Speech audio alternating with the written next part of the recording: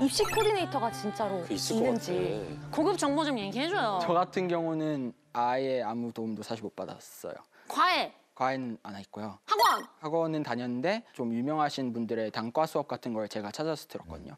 저희 어머님이 사실 제 성적을 네, 수능 보기 전까지는 아예 모르셨어요. 어머나.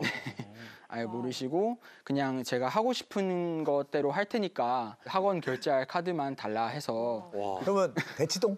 아, 네. 그 재수할 때부터는 대치동을 갔었고 아 재수했어요. 네, 반수를 했죠. 아. 왜 재수했어요? 제가 사실 현역 때 공부하는 것보다 수능을 좀 많이 잘 봤었어요. 현역이라 하면 고등학교 3학년 때. 어, 고3 때 본 거? 그때 수능을 세 개를 틀렸거든요. 근데 저 원래 그렇게 잘 보는 애가 아니었어요. 네. 원래 항상 여섯 개, 일곱 개 이렇게씩 틀리고 좀 한科目아니지? 다 해서. 그렇게 나온 학생이었어 가지고 제 원래 성적대로 이제 지원을 했다가 수시를 붙어버린 거예요.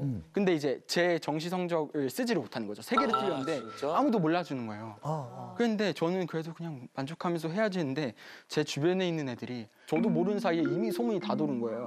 아, 어?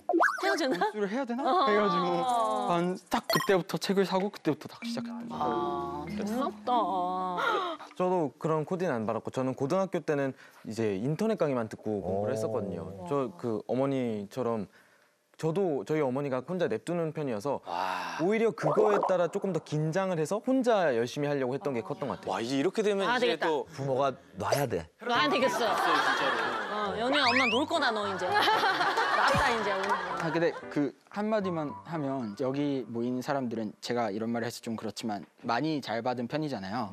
근데 이 정도로 잘 받으려면 그냥 냅둬도 해야 하는 아이인 것 같아요. 아, 네, 그래서 아, 이거 되게 의미 있는 얘기인 거. 그래 그래. 해라 해라 해라 하는 사람들은 아. 오히려 보면 어 잠깐만 연우한테 놓는다고 영상 편지 쓰자마자 저 얘기를 하는 연우는 놓으면 안 될 것 같아. 혹시나 해가지고 어 알았어요 알았어요. 모든 부모님들이 아 이거 내버려 두면 애들이 하겠구나 생각하면은 안 된다는 거야. 케바케라는 거지. 만점 받을 사람들은 냅둬도 잘하게 된다 뭐 이런 거네요.